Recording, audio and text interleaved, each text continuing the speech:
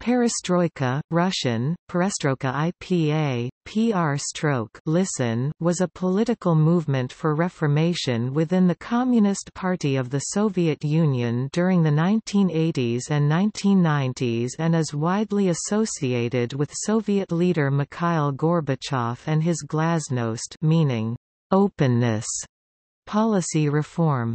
The literal meaning of perestroika is restructuring referring to the restructuring of the Soviet political and economic system. Perestroika is sometimes argued to be a significant cause of the dissolution of the Soviet Union, the revolutions of 1989 in Eastern Europe, and the end of the Cold War.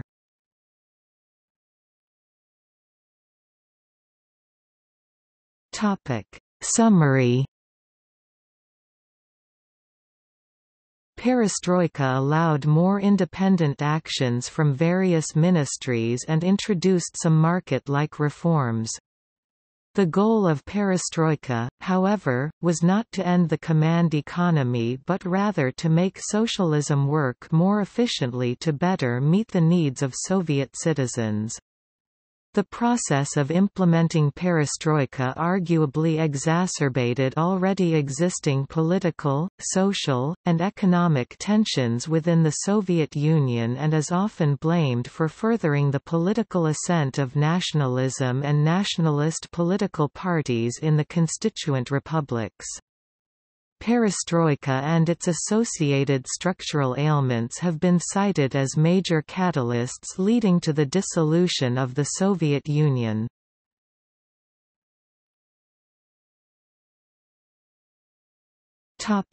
Economic reforms In May 1985, Gorbachev gave a speech in Leningrad in which he admitted the slowing of economic development, and inadequate living standards. This was the first time that a Soviet leader had done so. The program was furthered at the 27th Congress of the Communist Party in Gorbachev's report to the Congress, in which he spoke about perestroika, uskoreniye, human factor, glasnost, and expansion of the khozraschyot, commercialization. During the initial period 1985 of Mikhail Gorbachev's time in power, he talked about modifying central planning but did not make any truly fundamental changes acceleration Gorbachev and his team of economic advisers then introduced more fundamental reforms, which became known as perestroika restructuring. At the June 1987 plenary session of the Central Committee of the Communist Party of the Soviet Union CPSU, Gorbachev presented his basic theses which laid the political foundation of economic reform for the remainder of the existence of the Soviet Union. In July 1987, the Supreme Soviet of the Soviet Union passed the law on state enterprise. The law stipulated that state enterprises were free to determine output levels based on demand from consumers and other enterprises. Enterprises had to fulfill state orders, but they could dispose of the remaining output as they saw fit. However, at the same time the state still held control over the means of production for these enterprises, thus limiting their ability to enact full cost accountability. Enterprises bought input from suppliers at negotiated contract prices. Under the law, enterprises became self-financing, that is, they had to cover expenses wages, taxes, supplies, and debt service through revenues. No longer was the government to rescue unprofitable enterprises that could face bankruptcy. Finally, the law shifted control over the enterprise operations from ministries to elected workers' collectives. Gosplans Russian, Gosudarstvenij Komitet po Planirovaniu Gosudarstvený Komitet po Planirovaniu State Committee for Planning Responsibilities were to supply general guidelines and national investment priorities, not to formulate detailed production plans. The law on cooperatives, enacted in May 1988, was perhaps the most radical of the economic reforms during the early part of the Gorbachev era. For the first time since Vladimir Lenin's new economic policy was abolished in 1928, the law permitted private ownership of businesses in the services, manufacturing, and foreign trade sectors.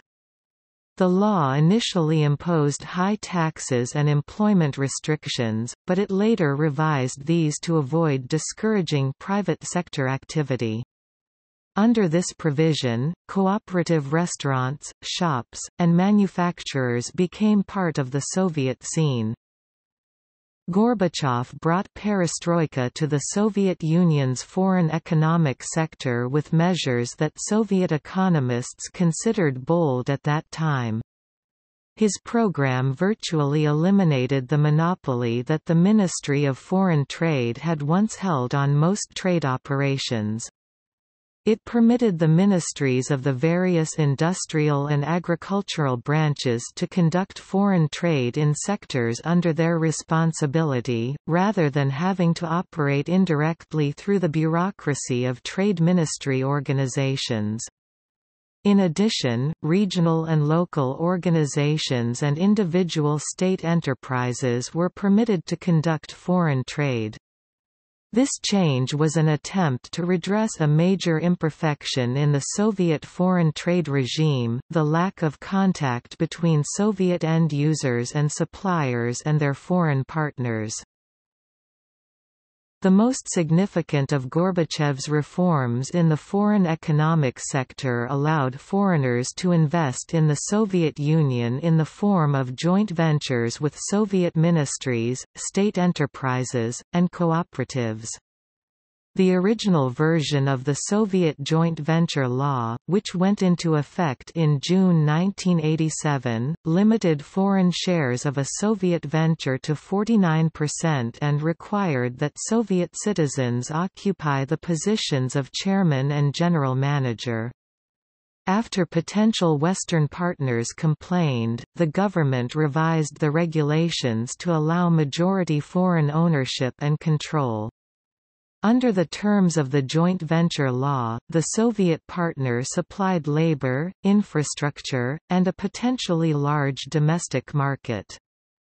The foreign partner supplied capital, technology, entrepreneurial expertise, and in many cases, products and services of world competitive quality. Gorbachev's economic changes did not do much to restart the country's sluggish economy in the late 1980s. The reforms decentralized things to some extent, although price controls remained, as did the ruble's inconvertibility and most government controls over the means of production. By 1990 the government had virtually lost control over economic conditions. Government spending increased sharply as an increasing number of unprofitable enterprises required state support and consumer price subsidies continued. Tax revenues declined because republic and local governments withheld tax revenues from the central government under the growing spirit of regional autonomy. The elimination of central control over production decisions, especially in the consumer goods sector, led to the breakdown in traditional supply-demand relationships without contributing to the formation of new ones. Thus, instead of streamlining the system, Gorbachev's decentralization caused new production bottlenecks.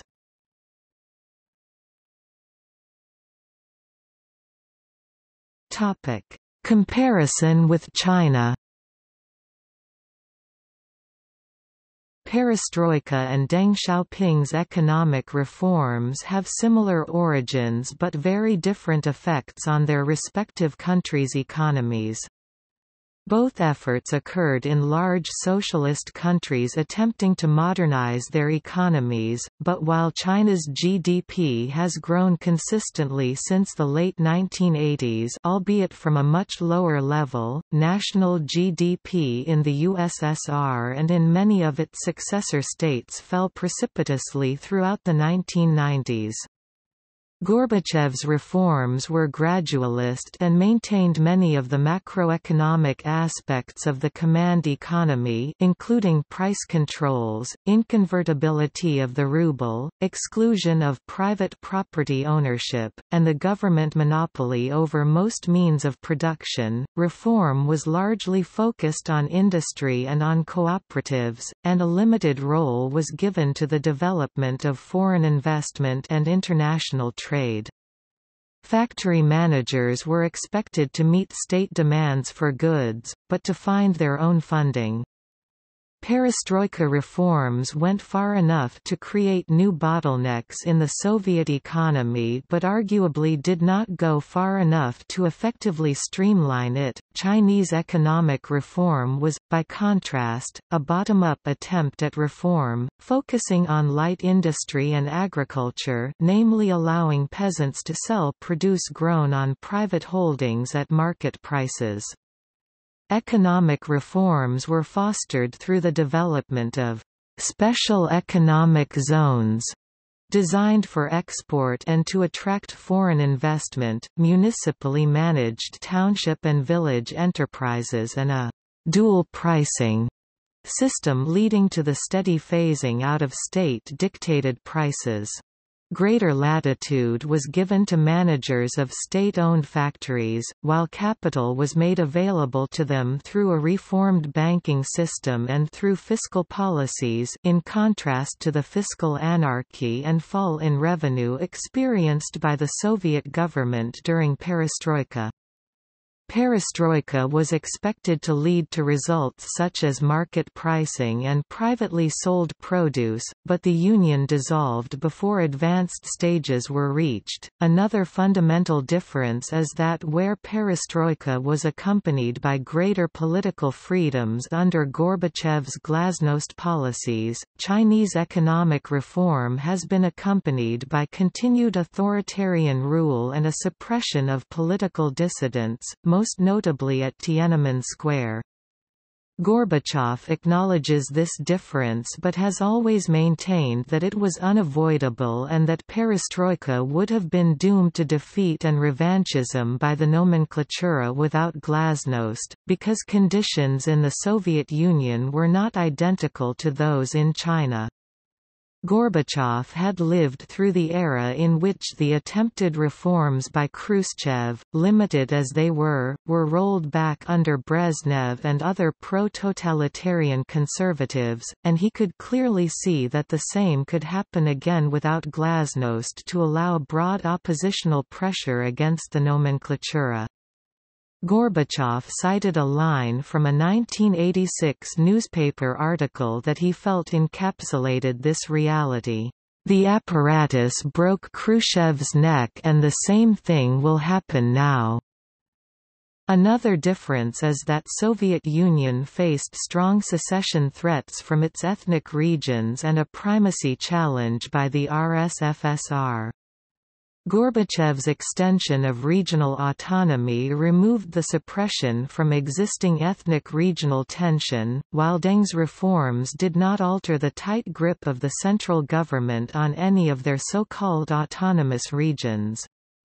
The Soviet Union's dual nature, part supranational union of republics and part unitary state, played a part in the difficulty of controlling the pace of restructuring, especially once the new Russian Communist Party was formed and posed a challenge to the primacy of the CPSU.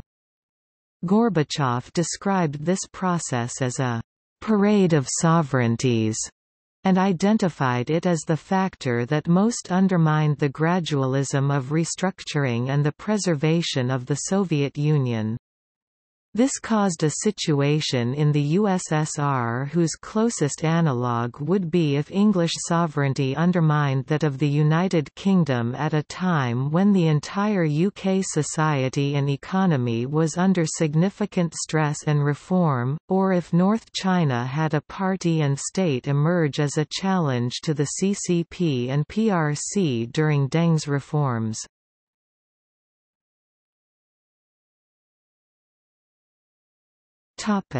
Perestroika and glasnost One of the final important measures taken on the continuation of the movement was a report from the Central Committee meeting of the CPSU titled, On Reorganization and the Party's Personnel Policy. This report was in such high demand in Prague and Berlin that many people could not get a copy. One effect was the sudden demand for Russian dictionaries in order to understand the content of Gorbachev's report.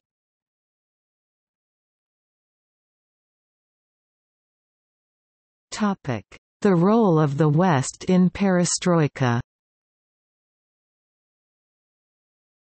During the 1980s and 1990s the United States President George H. W. Bush pledged solidarity with Gorbachev, but never brought his administration into supporting Gorbachev's reform.